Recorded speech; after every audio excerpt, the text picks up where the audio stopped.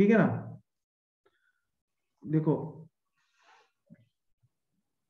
Basically जो rod का जो इक्विलिब्रियम है यहाँ पे,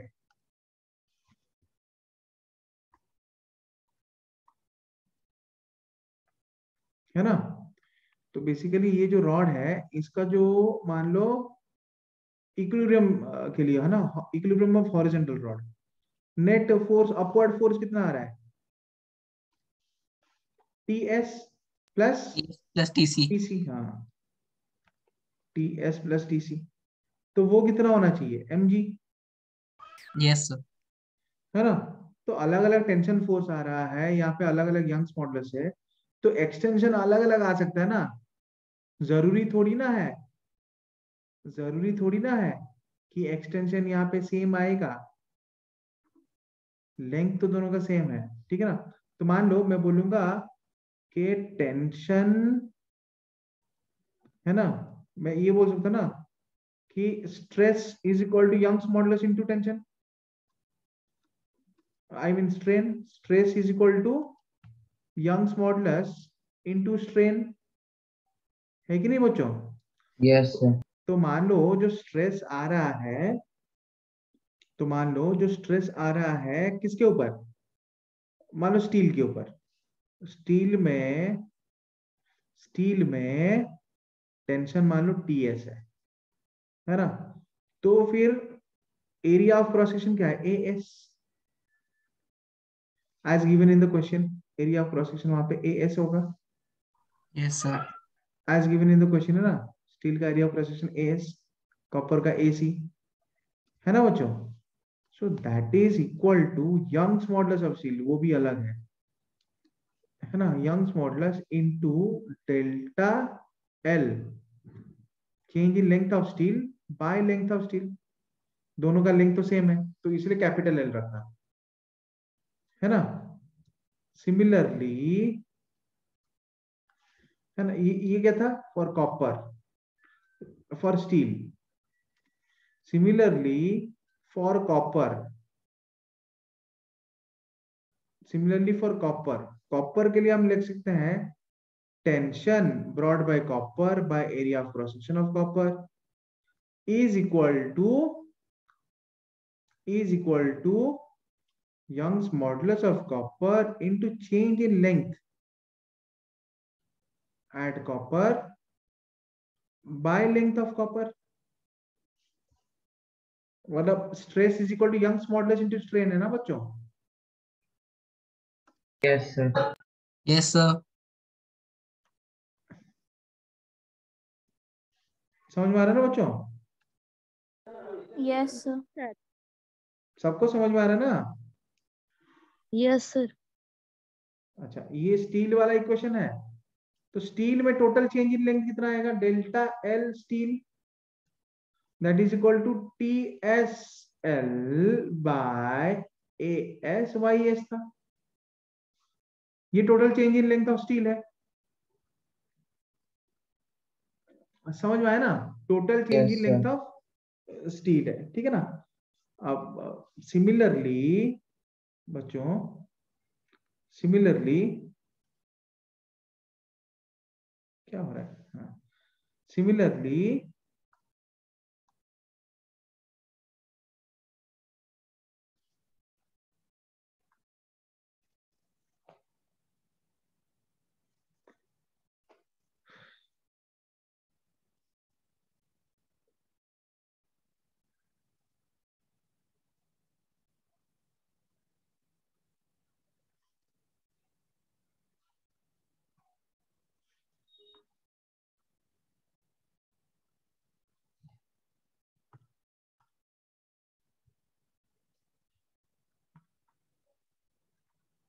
delta L change in length in copper is equal to TC into L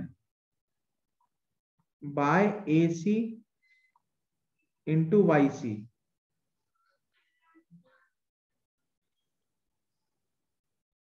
है ना change in length of copper क्या है that is equal to TC into L by AC into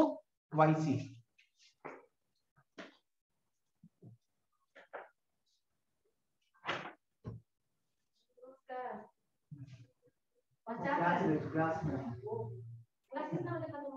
class में छह बजे छह बजे उसके बाद फिर हम हैं ठीक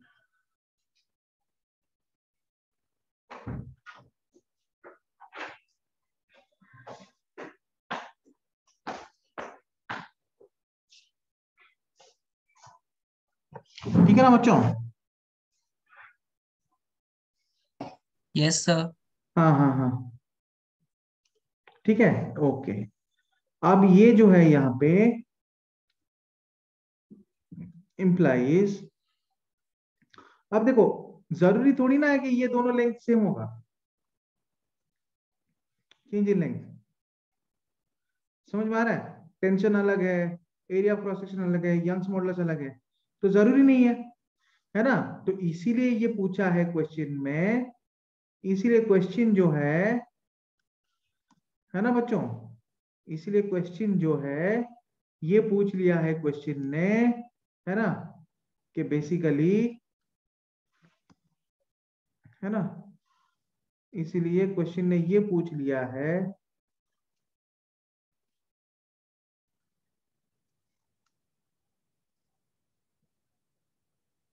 क्वेश्चन ने क्या पूछा है?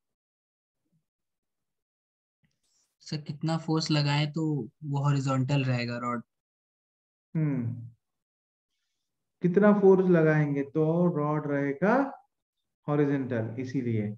हॉरिजेंटल रहने के लिए क्या होना चाहिए कि दोनों तरफ़ का लेंथ सेम होना चाहिए ना? यस सर कॉपर के साइड का सबको समझ में आ रहा है ना बच्चों? आंसर Yes, तो बस शदाब ने दिया।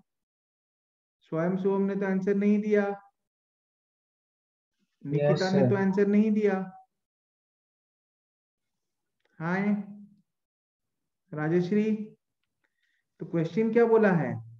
कि कितना फोर्स अप्लाई करना पड़ेगा ताकि रॉड जो है वो हो जाएगा horizontal the bar remains horizontal है ना? तो बेसिकली क्या हो रहा है? बार को हॉरिजेंटल रहने के लिए है ना दोनों तरफ़ का लेंथ सेम होना ज़रूरी है। लेकिन इनिशियली ना टू वर्टिकल इनिशियल लेंथ जो है दोनों वर्टिकल रॉड का इक्वल है। Two vertical rods of equal length बोला है। तो अगर है ना मैंने दोनों तरफ़ का लेंथ क्या लिया है? कैपिटल एल तो फाइनल लेंथ भी फाइनली अगर ना हॉरिजेंटल रॉड को हॉरिजेंटल रहना है तो दोनों तरफ़ का वर्टिकल लेंथ सेम होना चाहिए। समझ में आया ना बच्चों? Yes sir Yes, sir. For Yes, sir. for horizontal rod to remain horizontal for horizontal rod to remain horizontal horizontal rod को horizontal रहने के लिए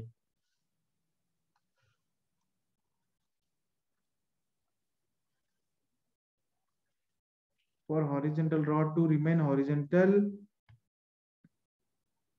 क्या होना चाहिए?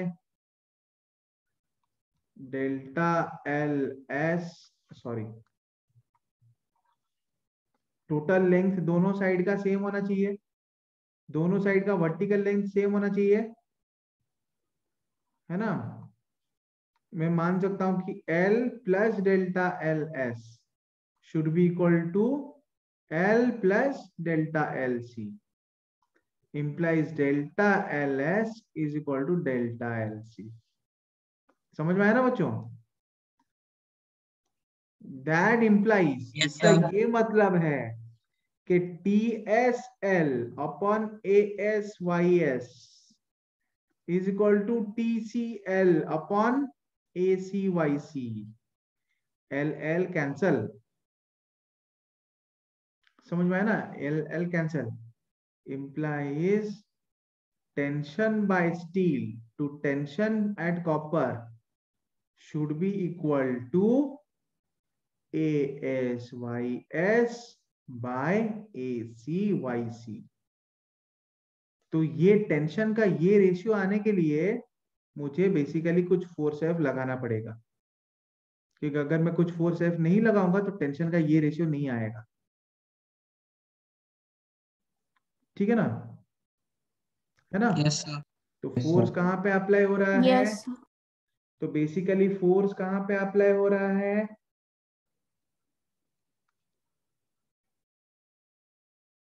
बेसिकली बच्चों हैंग हो गया।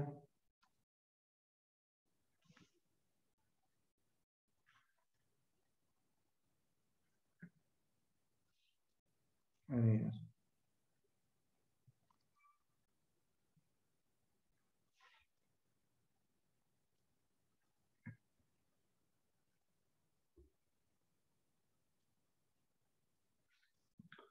बेसिकली फोर्स कहाँ पे अप्लाई हो रहा है at a distance x from steel as you can see in the diagram of the question we have to apply force at some distance x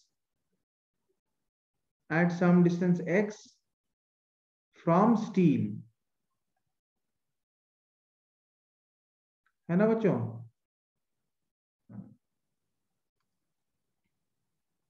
Yes, sir. Yes, sir. yes तो basically हमें force apply करना पड़ेगा at some distance x from ऐसे apply करना पड़ रहा है ना f at some distance x from steel ठीक है ना ओके okay. अरे रॉड अगर हॉरिजॉन्टल इक्विलिब्रियम में है बच्चों समझ में आ रहा है ना बच्चों रॉड अगर हॉरिजेंटल इक्विलिब्रियम में है तो उसके लिए for horizontal equilibrium of rod है ना बच्चों? रॉड के हॉरिजॉन्टल इक्विलिब्रियम के लिए है ना? उसके ऊपर नेट फोर्स तो ज़ीरो है लेकिन उसके ऊपर नेट टॉर्क भी तो ज़ीरो होना चाहिए ना? Yes, sir. for horizontal equilibrium of rod है ना? Since the rod is in equilibrium it है ना it is in translational as well as rotational equilibrium तो for rotational equilibrium net torque on rod should be equal to zero तो मान लो net torque अगर zero है तो मैं रॉड के कोई भी पॉइंट के अबाउट नेट टॉर्क ले सकता हूँ यहाँ पे Yes, तो sir. मान Yes, लो तो मान लो मैं क्या करूँगा ना यहाँ पे बच्चों मैं क्या करूँगा ना यहाँ पे मैं ये जो पॉइंट है ना बच्चों ये जो पॉइंट है ए इसके अबाउट नेटवर्क ले जाऊँगा। इसके अबाउट नेटवर्क ले जाऊँगा। इसके अबाउट नेटवर्क ज़ीरो होना चाहिए ना? मैं बोल सकता हूँ for rotational equilibrium of rod for rotational equilibrium of rod है ना? Net torque on a rod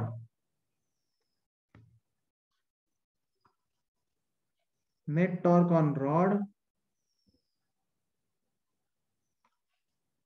about any point A should be zero. तो नेट टॉर्क है no about any point about any point on rod है ना? Should be zero तो हम torque about point A भी ले सकते हैं zero implies torque on a rod with respect to a. With respect to point a will equal to be zero. अच्छा a के अबाउट फोर्स f का कौन सा टॉर्क आ रहा है? Clockwise torque force into perpendicular distance clockwise torque को मैंने पॉजिटिव लिया। Mg का टॉर्क a के अबाउट अगेन पॉजिटिव तो फिर प्लस मतलब क्लॉकवाइज है ना? क्लॉकवाइज को मैंने पॉजिटिव लिया तो mg का भी तो क्लॉकवाइज टॉर्क आ रहा है तो उसको भी पॉजिटिव लेना पड़ेगा mg into L by two लेकिन ये जो टेंशन टीसी है इसका टॉर्क पॉइंट ए के अबाउट एंटी क्लॉकवाइज आ रहा है। सो एंटी क्लॉकवाइज टॉर्क को लेना पड़ेगा नेगेटिव तो उसका टॉर्क कितना आएगा? Tension into perpendicular distance Yes, sir. TC into L. है ना? Should be equal to zero. Should be equal to zero, ठीक है ना? अब देखो बच्चों इसमें कुछ सिंप्लीफिकेशन है एक्स को निकालने के लिए। I know that TS by TC TS by TC S equal to AS YS by AC YC और हमें यह पता है कि टी एस प्लस टीसी जो है that is equal to M G है। टी एस प्लस टीसी क्या होना चाहिए? एम जी होना चाहिए। है ना? तो अगर मैं टीसी कॉमन ले जाऊँगा दोनों से अगर मैं टीसी कॉमन ले जाऊँगा तो मुझे क्या मिल है? One plus T S upon T C which is equal to M G समझ में आया ना? ठीक है? तो दैट इंप्लाइज है ना? TC whole into one plus T S upon TC क्या है? A S Y S by A C Y C A S Y S by C Y C this is equal to M G अब मुझे TC का value मिल गया जी के terms में. TC is equal to M G whole divided by one plus A S Y S by A C Y C समझ में आया ना बच्चों? Yes, sir.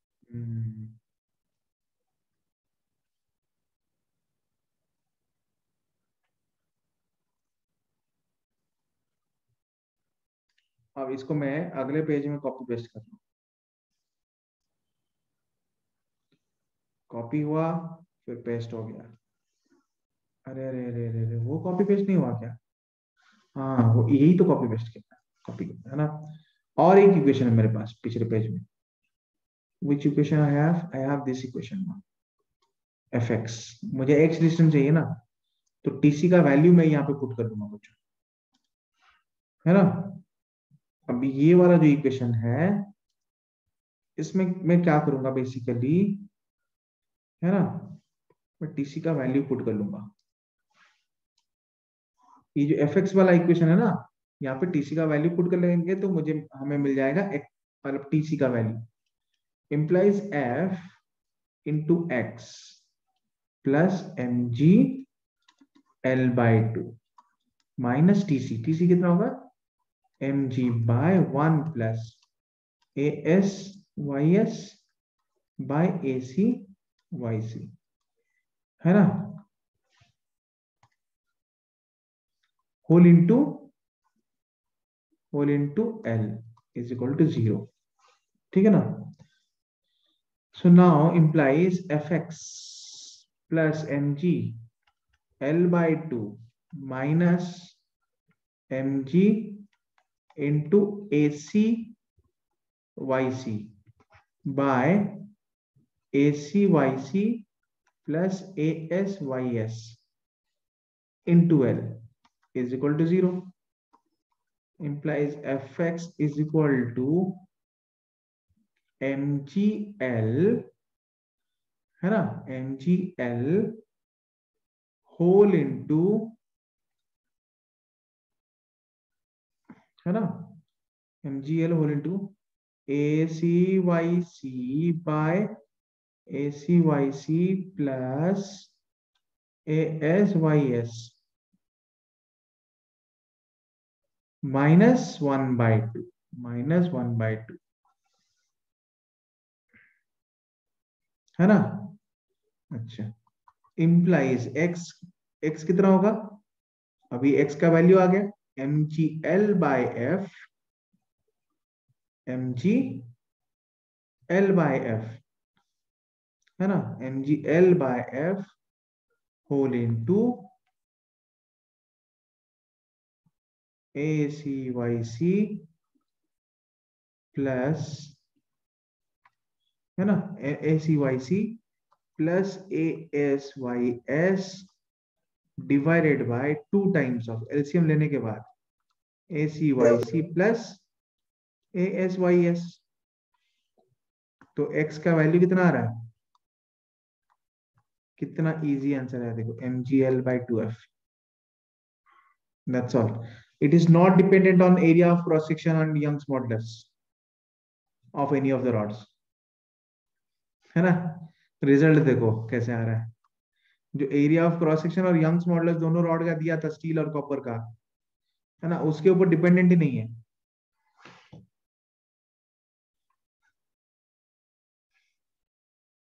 समझ में आया ना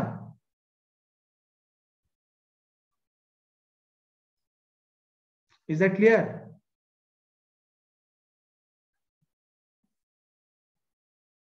It is L Yes, by sir. 2 times of Yes, sir. mg by f. Sir numerator में वो A C Y C minus A S Y S होगा ना? ओहो S C Y C minus A S Y S क्या?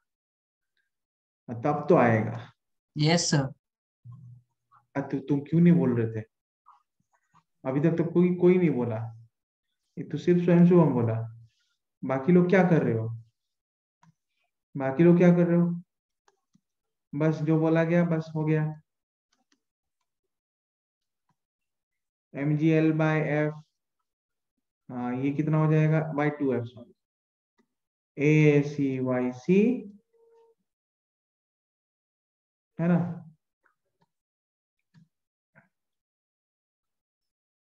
Minus A S Y S एक standard formula है। A C Y C plus A S Y S clear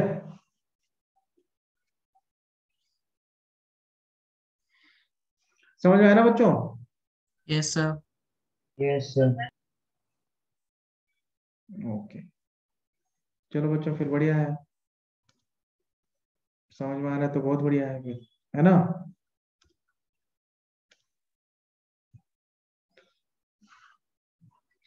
all the best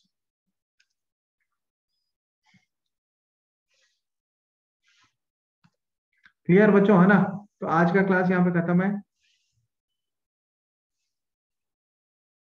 मैं चलूँगा अभी। Thank you sir thank you sir bye thank you sir thank you sir